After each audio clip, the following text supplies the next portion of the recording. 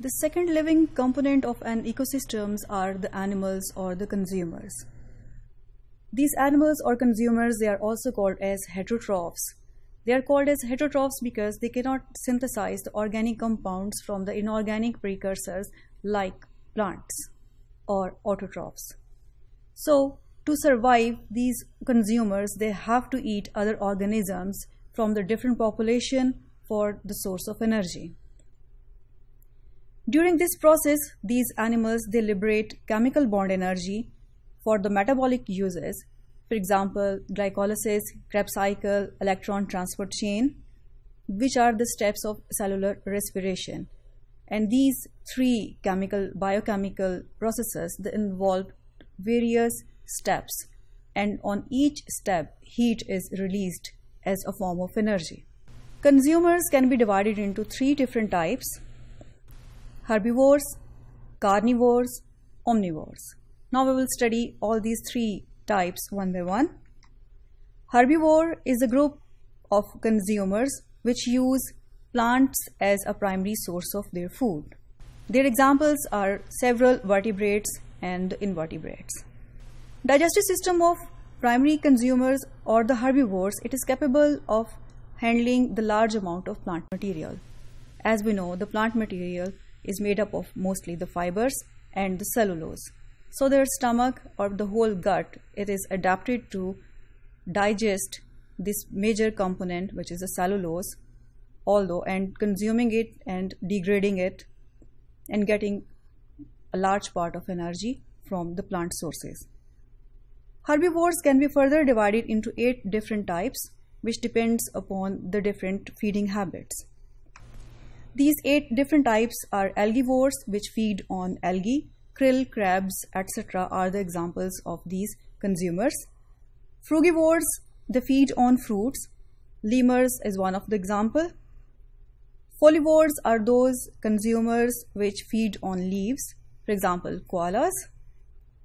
Nectarivores, they are the feed on nectars, honey, opossums, or the hummingbird is one of the example, and we are familiar with butterflies too. Granivores, they, these are those consumers which are feeding on seeds, for example, honey creepers.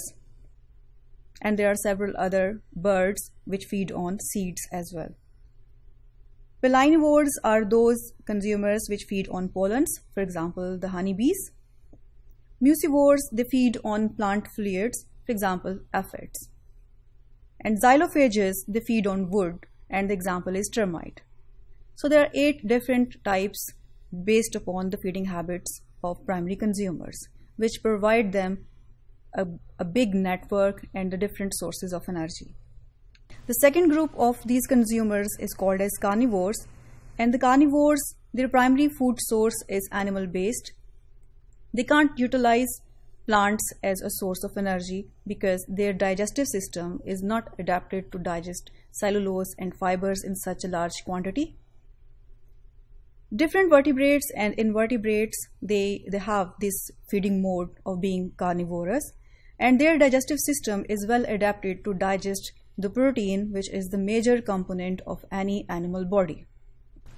The third category of consumer is known as omnivores and the primary food sources for omnivores it could be both plants and animals. So in this case omnivores they have a larger choice or a bigger choice of food to be consumed. For example, humans is the very common example of being of the omnivores and bears and cockroaches, chicken, and there are several other examples of omnivores as well.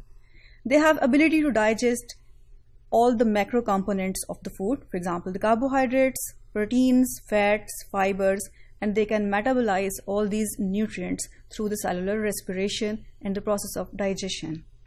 Omnivores have three different types, although they are not limited to these three different types, but these component of food or the choices of food are considered as the major part of their uh, their daily food.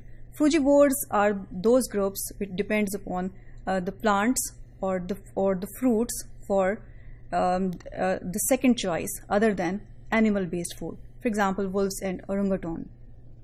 Insectivorous plants, uh, insectivorous consumers are those animals which other than animal sources they use insects as a second choice. for example, swallows and armadillos. Granivorous consumers, other than animal source food, they use finches, uh, they use the grains or the seeds as a second choice of the food.